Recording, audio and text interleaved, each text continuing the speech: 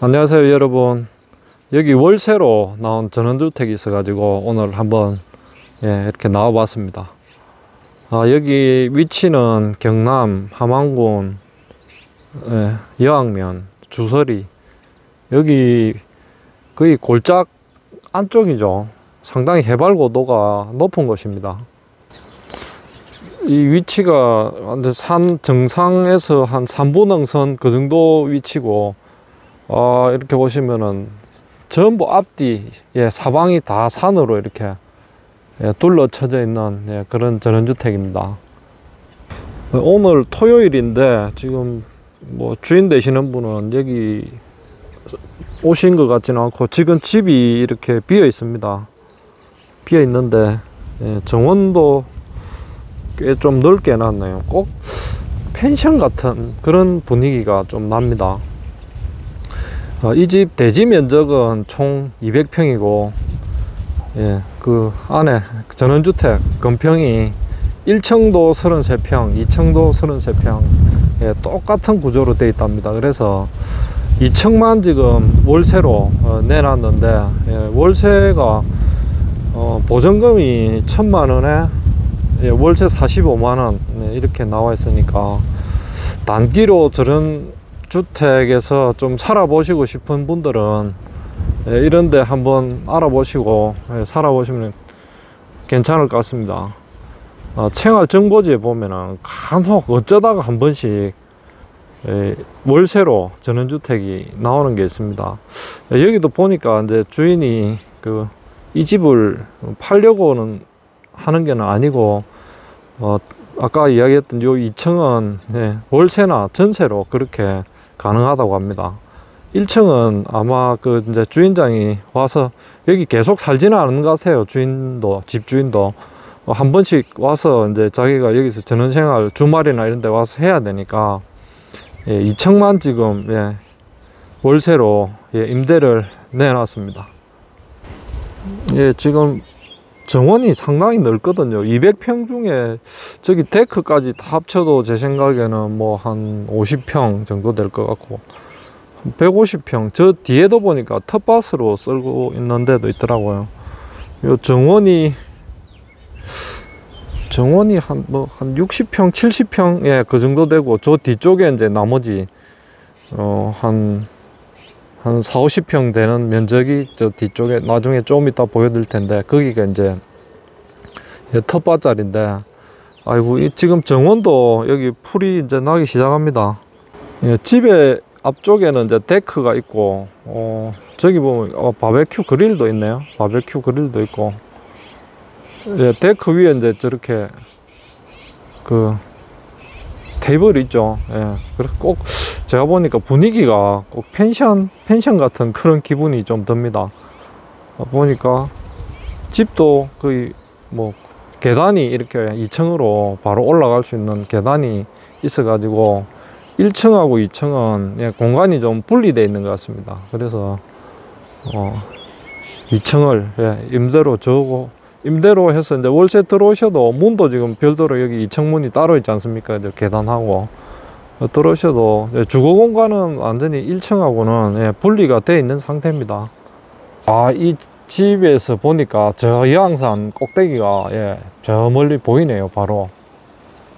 예, 이 집 주위에도 전원주택이 한 대여섯 채 보입니다. 예, 꼴짝인데 완전 꼴짝이죠. 지금 앞도 지금 산으로 멀리 앞에 막혀 있고 계곡은 요 밑에 있는데 한, 한 100m 정도 떨어져 있습니다. 이 집하고. 그래서 음, 계곡 내려가는 길도 뭐 잘 없는 것 같은데 계곡을 내려가시면 저 밑으로 내려가서 예, 계곡에 들어갈 수 있는데 이 집 오른쪽 보니까 예, 한 4, 50평 되는 예, 이런 텃밭이 있는데 지금 예, 어, 나무 한 뭐지 대추나무 하나 있고 그냥 이렇게 비어 있습니다. 비어 있고 지금 막 풀이 이제 나기 시작하는데 농사는 이거를 이제 개간해서 지으면 되는데 아이고 이거 이 정도 텃밭도 사, 솔직히 넓습니다. 40평, 50평. 어, 이, 이 면적도 만만치 않아요. 농사 지으려면. 그래서 뭐, 시골에 텃밭 있지 않습니까? 10평만 하면은, 예, 한 식구 먹을 거 충분히 나옵니다. 뭐 풋고추를 심던 뭐 여러 가지 채소류, 상추 뭐 이런 거 심어도 열 평도 솔직히 많아요. 한 다섯 평만 하면은 예, 한 집에 먹거리는 충분히 예, 저- 작용을 해서 예, 자급자족을 할 수가 있습니다. 그 전원주택 바로 옆집인데 옆집은 예, 간단하게 1층으로 해가지고 이렇게 집을 지어놓고 텃밭 여기 있지 않습니까? 여기 상추하고 막 있는데 요 정도가 한 다섯 평이거든요. 요 정도면 뭐 충분합니다.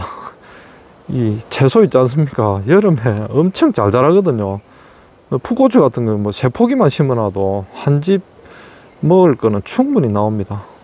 예, 이 마을 맨 위쪽에 예, 이렇게 절이 있네요. 절 이름이 용지사입니다. 용지사. 여기 한번 볼까요? 용지사라는 절이 있는데 이 절도 오래된 것 같네요. 신라 범종이 있는 모양인데. 야, 여기 바위 틈에 지금 예, 호수를 꽂아 가지고 이렇게 용, 용이죠, 용. 용머리에서 예, 물이 이렇게 졸졸 흘러내려요. 지금 뭐 불경을 외고 있는데 아까 저 밑에 그 월세로 나온 전원주택에 있으니까 약간 들리기는 들립니다. 근데 크게 뭐 소음이 방해될 정도는 아닌 것 같습니다. 아, 여기 절 뒤편에 제일 높은 마을에서 예, 위치인데 엄청나게 어리리한 예, 전원주택이 있습니다. 예, 요 밑에가 아까 월세로 내놓은 전원주택이고 예, 여기는 진짜 자연인들이 살만한 그런 곳입니다. 조용하긴 진짜 조용합니다. 절의 불경 소리 외에는 동네에 하, 뭐개 짖는 소리 말고 아무것도 안 들립니다. 예, 여기 느티나무 아래는 마을 공, 공동 정자, 예, 정자가 이렇게 또 놓여져 있습니다. 근데 여기 어, 동네가 보니까 원래 시골집은 하나도 없어요. 그냥 전부 다 새로 개발해서 이렇게 전원주택으로 들어온 집이 한 10여 채 정도 예, 있어 보이고 옛날 시골 마을 자체는 예, 마을 자체가 없는 산골짜기죠. 예. 야, 절 뒤편에서 이렇게 보니까 예, 마을 전체가 이렇게 내려다 보이는데 어, 여기서 보니까 뭐 경치는 참 좋습니다. 오늘 뭐 황사하고 미세먼지가 심해서 그런데 예, 경치는 참 좋네요.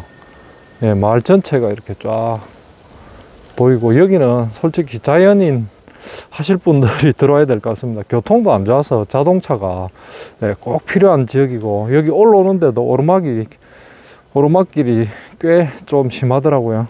집은 마을 입구 쪽에 있는 집인데 예, 마당에 이렇게 보시면은 우리 테니스장처럼 예, 소금 뿌려가지고 롤러로 다지는 거 있죠. 예, 그런 식으로 해놓은 것 같습니다. 이 풀이 하나도 안 나 있지 않습니까 지금?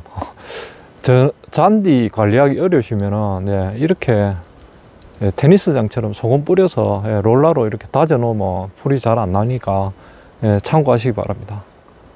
마을에서 조금만 내려오시면은 이렇게 계곡이 이제 이렇게 있습니다.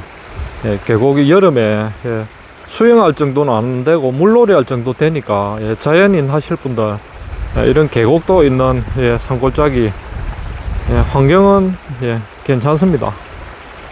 오늘 여학면 예, 주소리에 있는 월세 전원주택 근데 여기 제가 말씀드리지만은 너무 산골짜기예요 산골짜기라 가지고 물론 동네 집들은 한 10여 채 있지만은 아, 자동차가 없이는 생활하기 힘들 것 같고 자연인 하러 하실 분들 예, 여기 뭐 전세도 준다니까 예, 이런 집 예, 자연인 생활 하실 분들만 꼭 한번 자세히 알아봐 주시기 바랍니다. 예, 오늘 영상은 예, 이것으로 마치겠습니다. 예, 감사합니다.